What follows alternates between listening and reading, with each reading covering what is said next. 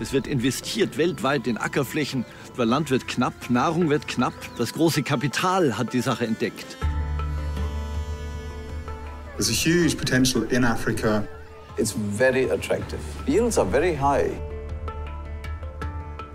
Dass man kleine Bauern von ihrem Land vertreibt und dort große industriell organisierte Landwirtschaft betreibt. រាប់ពាន់គ្រួសារត្រូវបានបណ្ដេញចេញត្រូវបាន បានស្អីអត់ទេធ្វើយកអស់ហើយ Deja pot să spun că la nivel de comună, încă o fermă cum este a mea nu mai găsiți. Wir haben ein Fördersystem in der Europäischen Union, was nicht den Bauern fördert, sondern die Fläche. Das heißt, je mehr Hektar, je mehr Geld. C'est cuma tun, apa boy hectares. About 100 hectares or about 2000 hectares, sekarai. Big, big problem. Das muss man auch sehr deutlich sagen, mit korrupten Regimen Landgrabbing gemacht wird. Das heißt, Konzerne eignen sich Land selber an, um für den europäischen Markt zu produzieren.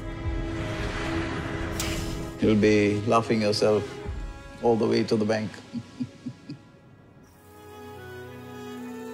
Für mich ist das eine neue Welle des Kolonialismus, die uns eines Tages teuer zu stehen kommen wird.